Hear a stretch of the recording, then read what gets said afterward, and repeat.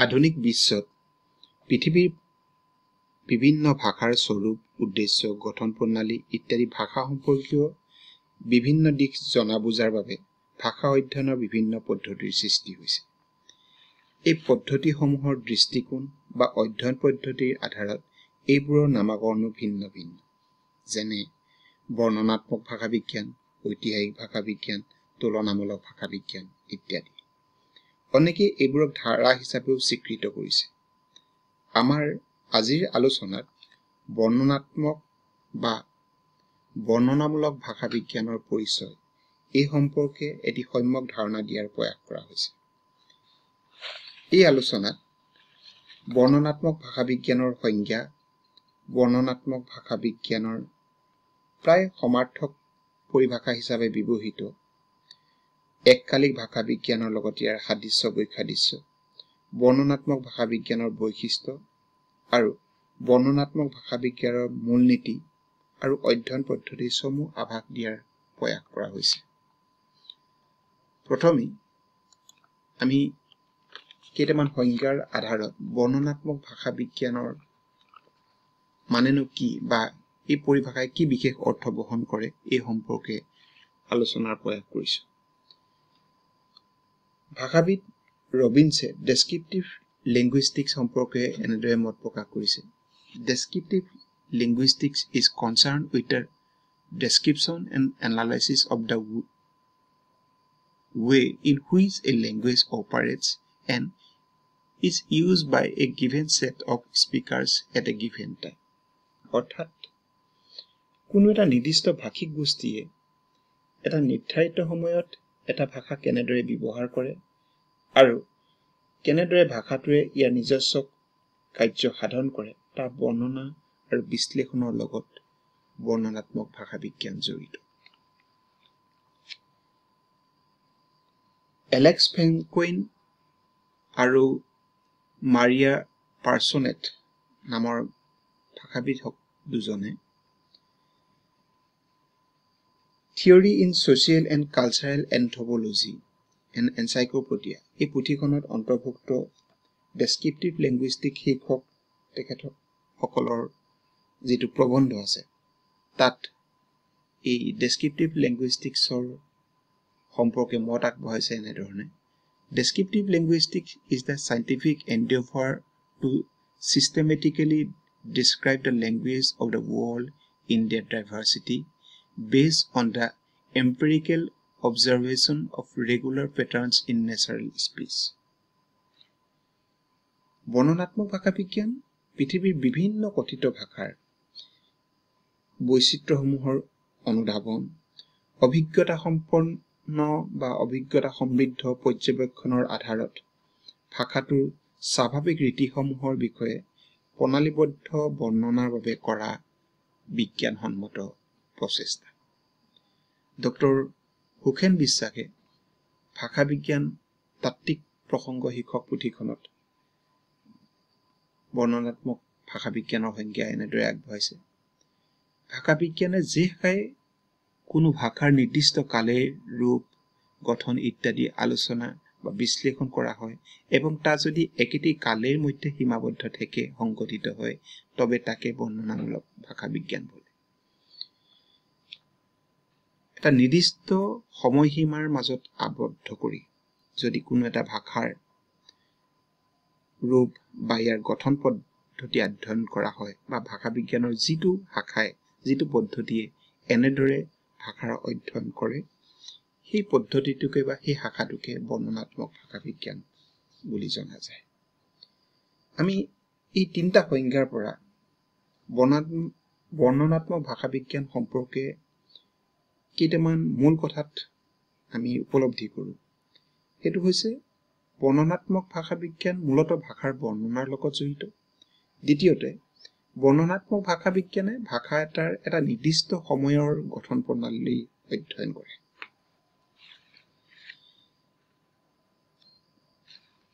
যিহেতু বৰ্ণনাত্মক ভাষা বিজ্ঞানে ভাষা এটা নিৰ্দিষ্ট সময়ৰ ইয়াৰ গঠন প্ৰণালী অধ্যয়ন কৰে গতিকে বৰ্ণনাত্মক ভাষা বিজ্ঞানক এককালিক ভাষা বিজ্ঞান বা চিনক্ৰনিক লেংগুইষ্টিক হিচাপেও বহু সময়ত জনা যায়। এই বৰ্ণনাত্মক ভাষা বিজ্ঞান বা ডেছক্ৰিপটিভ লেংগুৱেষ্টিক আৰু এককালিক ভাষা বিজ্ঞান বা চিংকনিক লেংগুৱেষ্টিক যি দুটা প্ৰায় সমাৰ্থক পৰি ভাষা বৈজ্ঞানিক পৰিভাষা হিচাপে ব্যৱহাৰ কৰা হয়। কিন্তু এটা কথা ঠিক যে এই দুয়োটা ভাষা বৈজ্ঞানিক পৰিভাষা ষোল্ল নাই একে নহয়। বৰ্ণনাত্মক আৰু এককালিক ভাষা বিজ্ঞানৰ মাজত যে কিছু পাৰ্থক্য আছে এই কথাষাৰ প্ৰথমবাৰৰ বাবে আঙুলিয়াই দিয়ে ভাষা বিজ্ঞানী হকেট তেখেতে এ কোৰ্চ ইন মডাৰ্ণ লেংগুৱেষ্টিক্সত এই কথাটো স্পষ্টভাৱে উল্লেখ কৰিছে যে descriptive linguistic deal with the design of language of some community at a given time ignoring interpersonal or intergroup differences. Synchronic linguistics includes descriptive linguistics and also certain further types of investigation, particularly synchronic dialectology. Is the systematic study of interpersonal and intergroup differences of speech habit অৰ্থাৎ বৰ্ণনাত্মক ভাষা বিজ্ঞানে ভাষাটোৰ যিটো মূল ৰূপ বা মান্য ৰূপটোৰ অধ্যয়নতহে গুৰুত্ব লাভ কৰে বা গুৰুত্ব পায়। আনহাতে এককালিক ভাষা বিজ্ঞানে এই বৰ্ণনাত্মক ভাষা বিজ্ঞানে সামৰি লোৱা ভাষাৰ মূল ৰূপটোৰ উপৰিও ভাষাটোৰ উপভাষা বা ব্যক্তিভাষা পৰ্যন্ত তাৰ আলোচনা বিস্তাৰিত হৈ পৰে বা এই দুইটা দিশো এককালিক ভাষা বিজ্ঞানে সামৰি লয়। এককালিক ভাষা বিজ্ঞানৰ এই আঞ্চলিকতাৰ বাবে এককালিক ভাষা বিজ্ঞান বা চিনকনিক লেংগুৱেষ্টিক বহু সময়ত উপ ভাষা বিজ্ঞান বুলিও জনা যায় যিটো হকেতে কৈছে যে ডাইলেক্টলজি উপভাষা বিজ্ঞান গতিকে যদি বৰ্ণনাত্মক ভাষা বিজ্ঞান আৰু এককালিক ভাষা বিজ্ঞানৰ মাজত খুব ঘনিষ্ঠ সম্পৰ্ক আছে কিন্তু এই দুয়োটা সম্পূৰ্ণ একেই শাখা বুলি আমি বুজি নোলোৱাই উচিত। বৰ্ণনাত্মক ভাষা বিজ্ঞানৰ আমি কেইটামান মূল বৈশিষ্ট্য এনেধৰণে আলোচনা কৰিব পাৰোঁ। তেতিয়া বৰ্ণনাত্মক ভাষা বিজ্ঞান সম্পৰ্কে ধাৰণা অধিক স্পষ্ট হৈ পৰিব। প্ৰথম কথা এই পদ্ধতিত কোনো ভাষাৰ স্বৰূপ বা গাঁথনিক দিশসমূহ আলোচনা কৰা হয়। এই বিশেষত্বটোৱে বৰ্ণনাত্মক ভাষা বিজ্ঞানৰ লগত তুলনামূলক ভাষা বিজ্ঞানৰ ইয়াৰ যিটো বৈশাদৃশ্য সেয়া স্পষ্ট কৰি তোলে। তুলনামূলক ভাষা বিজ্ঞানত দুই বা ততোধিক ভাষাৰ মাজত তুলনা কৰা হয়। আৰু তুলনাৰ যোগেদি তুলনা কৰা ভাষাসমূহৰ জন্ম উৎস ইত্যাদি নিৰ্ণয় কৰা হয়। সেই ভাষাসমূহৰ ক্ৰমবিকাশৰ ৰূপৰেখা নিৰ্ণয় কৰা হয় বা আলোচনা কৰা হয়।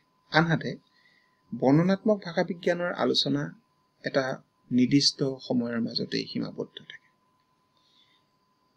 দ্বিতীয়টো বিশেষত্বই বৰ্ণনাত্মক ভাষা বিজ্ঞানৰ লগত ভাষা বিজ্ঞানৰ অন্য এটা গুৰুত্বপূৰ্ণ শাখা ঐতিহাসিক ভাষা বিজ্ঞানৰ পাৰ্থক্যটো স্পষ্ট কৰি তোলে।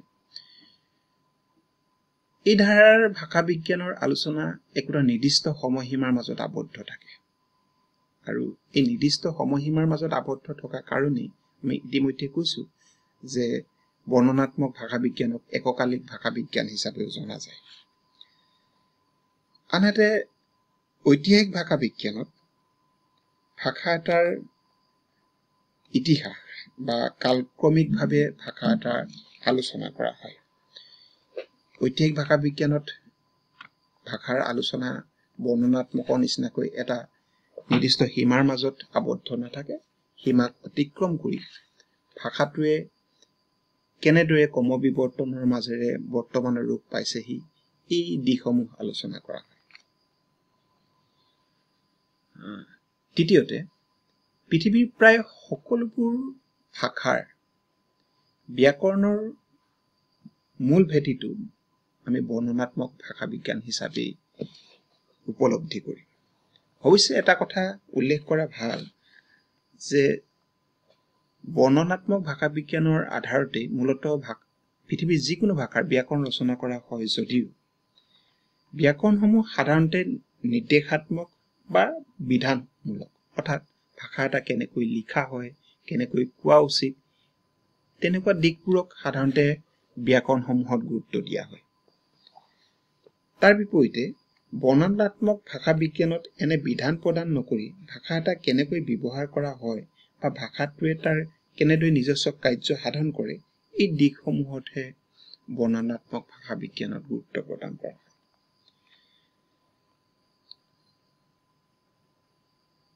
আৰু বৰ্ণনাত্মক ভাষা বিজ্ঞানে ভাষা অধ্যয়নৰ গোটেইকেইটা মূল উপাদান ধ্বনি তত্ত্ব ৰূপ তত্ত্ব বাক্য তত্ত্ব অৰ্থ তত্ত্ব গোটেই দিশসমূহ এই পদ্ধতিয়ে সামৰি লয়।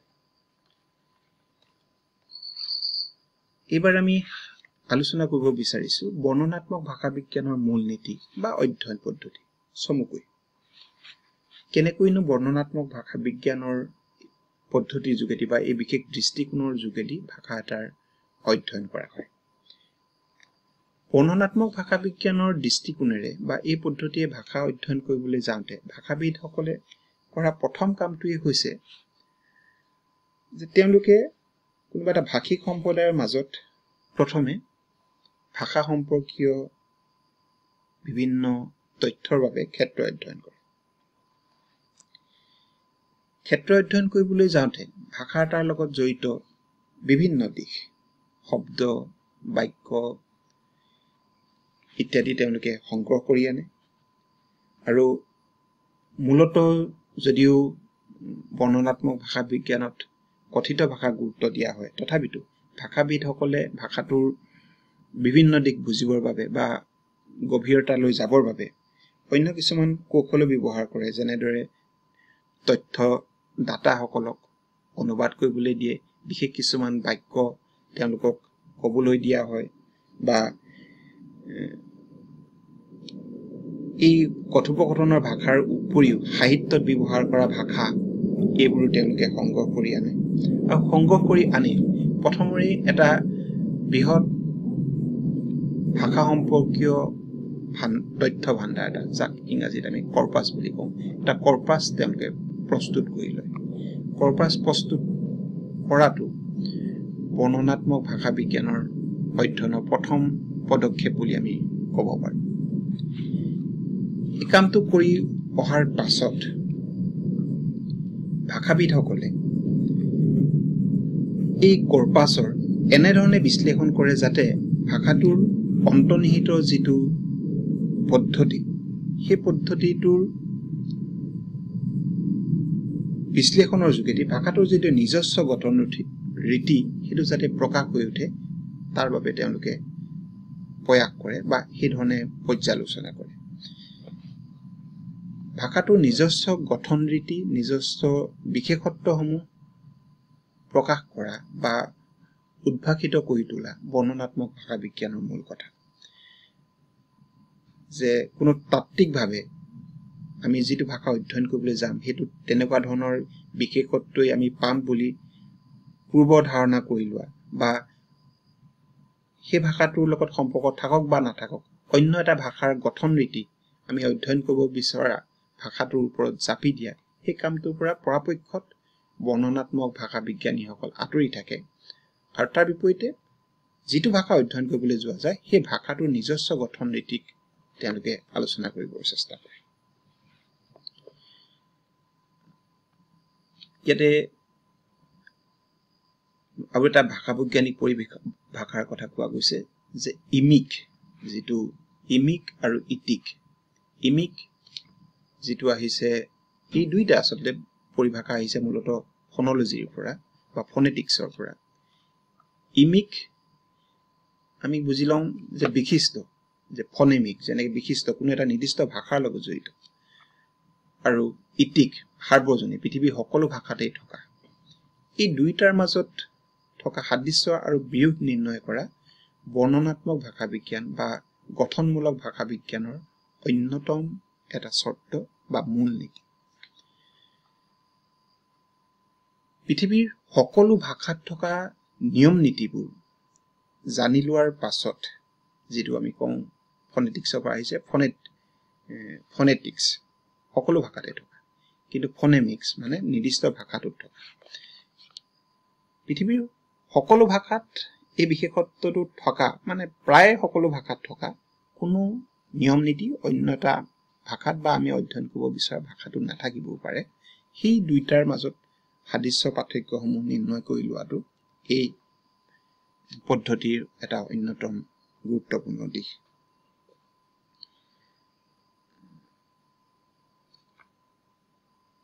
যে বিশিষ্ট বুলি ক'লে বিশিষ্ট ধ্বনি আমি যদি কথাটো বুজিবৰ কাৰণে আকৌ ধ্বনি তত্বৰ প্ৰসংগলৈ যাওঁ যে বিশিষ্ট ধ্বনি যিটো কওঁ আমি ফনেমিক ফনিম এইবোৰ সাৰ্বজনীন নহয়।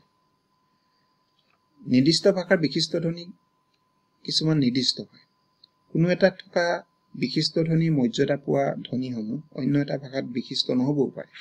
উদাহৰণস্বৰূপে অসমীয়া ভাষাত প ত ক এই বিশিষ্ট ধ্বনিকেইটাৰ লগতে ফ থ খ আদিও বিশিষ্ট কিন্তু ইংৰাজী ভাষাত প মানে আমি যিটো পি ত টি আৰু কে ক এই তিনিটা ধ্বনিহে বিশিষ্ট ধ্বনি ফ থ খ এইকেইটা বিশিষ্ট ধ্বনি নহয় বৰঞ্চ ত মানে টি আমি যিটো লিখো ক বা প এইকেইটাৰ কেইটামান উপধ্বনি। গতিকে ইংৰাজী ভাষাৰ নিয়ম নীতিকেইটা আমি অসমীয়া ভাষাৰ ওপৰত জাপি দিব নোৱাৰো বা অসমীয়া ভাষাৰ নিয়ম নীতিকেইটাও আমি ইংৰাজী ভাষাৰ ওপৰত জাপি দিব নোৱাৰো। ধ্বনিৰ ক্ষেত্ৰত যেনেকৈ কোনো এটা ভাষাত থকা বিশিষ্ট ধ্বনি অন্য এটা ভাষাত বিশিষ্ট নহ'বও পাৰে ঠিক তেনেকৈ এই নিয়মটো ব্যাকৰণৰ বিভিন্ন শিতানত প্ৰযোজ্য হৈ পৰে। যে আমি ব্যাকৰণৰ আলোচনাত সাধাৰণতে ৱৰ্ড ক্লাছ বা শব্দ শ্ৰেণী নিৰ্ণয় কৰোঁ যেনেকে বিশেষ্য বিশেষণ ক্ৰিয়া ইত্যাদি। এইবোৰো সাৰ্বজনীন নহয় যে সকলো ভাষাত প্ৰায় একে অৰ্থ বুজোৱা শব্দবোৰ যে বিশেষ্যই হ'ব ক্ৰিয়াই হ'ব বা বিশেষণ হ'ব কথাটো ঠিক তেনেকুৱা নহয়। উদাহৰণস্বৰূপে চলমান আইলেণ্ডত থকা টিয়ানো ভাষাটোত বিউটিফুল বুজোৱা যিটো শব্দ আছে সেই ভাষাটোত সেইটো এটা বিশেষণ শব্দ। কিন্তু ক্লেভাৰ বুদ্ধি বুজোৱা শব্দটো কিন্তু সেই ভাষাটোত বিশেষণ নহয় বৰঞ্চ ক্ৰিয়াপদ। কাৰণ তাৰ যিটো ফাংচন বা যিটো গঠন বা যিটো ব্যৱহাৰ অন্য ক্ৰিয়াপদৰ ব্যৱহাৰৰ নিচিনা সম্পূৰ্ণ একেই। এনেকুৱা বহু ধৰণৰ উদাহৰণ দিব পৰা যায়। গতিকে আমি আগতীয়াকে ধৰি ল'ব নোৱাৰো যে শব্দ শ্ৰেণীবোৰ একেই হ'ব এটা ভাষাত থকা যিবোৰ ৱৰ্ক ক্লাছ আছে বা ব্যাকৰণগত বিশেষত্ব এটা আছে অন্য ভাষাৰ ক্ষেত্ৰতো প্ৰযোজ্য হ'ব ঠিক কথাবোৰ তেনেকুৱা নহয়। গতিকে বৰ্ণনাত্মক ভাষা বিজ্ঞানে বা এই দৃষ্টিকোণৰ ভাষা বিজ্ঞানত প্ৰথমে তথ্য সংগ্ৰহ কৰাৰ পাছত ভাষাটোৰ বিভিন্ন শিতান ধ্বনি ৰূপতত্ত্ব বাক্যতত্ত্ব অৰ্থতত্ত্ব এই দিশবোৰ বিস্তৃতভাৱে আলোচনা কৰা হয় আৰু আলোচনাৰ যোগেদি ভাষাটোৰ নিজস্ব বিশেষত্বসমূহ প্ৰকাশ কৰিব চেষ্টা কৰা হয়। আৰু সেই বিশেষত্বসমূহ প্ৰকাশ কৰাৰ পাছত ভাষা বিজ্ঞানৰ অন্য এটা যিটো অন্য শাখা যেনেকে টাইপলজি বা প্ৰকাৰতত্ত্ব যিটো শাখা সেইটোৱে ভাষাটো কোন শ্ৰেণীৰ ভাষাত পৰিব ক্লাছিফিকেশ্যন বা শ্ৰেণী বিভাজনৰ কাৰণে সুবিধাজনক হৈ পৰে। গতিকে বৰ্ণনাত্মক ভাষা বিজ্ঞানক আমি ভাষা অধ্যয়নৰ অন্যতম এটা প্ৰয়োজনীয় এটা মৌলিক দিশ হিচাপে আমি বিবেচনা কৰিব পাৰোঁ। আজিৰ আলোচনাৰ মূল বিষয় ইমানেই। আমাৰ পৰৱৰ্তী বৰ্ণনাত্মক ভাষা বিজ্ঞান বিষয়ক যিটো আলোচনা তাত আমি বৰ্ণনাত্মক ভাষা বিজ্ঞানৰ সংক্ষিপ্ত ইতিহাস প্ৰদান কৰিব চেষ্টা কৰিম। দুখনমান সহায়ক পুথিৰ ইয়াত উল্লেখ কৰা গৈছে। ইচ্ছুক শিক্ষাৰ্থীসকলে বা আগ্ৰহী ব্যক্তিসকলে এই পুথিসমূহ পঢ়িলে বিষয়বস্তু অধিক স্পষ্টৰূপে বুজিবলৈ সক্ষম হ'ব।